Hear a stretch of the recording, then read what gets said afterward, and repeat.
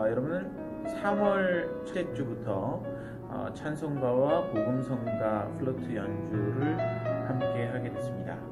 아, 여러분들 어, 오직 주를 위하여 오직 어, 주님을 위하여 이 찬송가 복음성가를 연주하는 여러분들 되기를 바랍니다. 자 처음 곡입니다. 예수 사랑하심은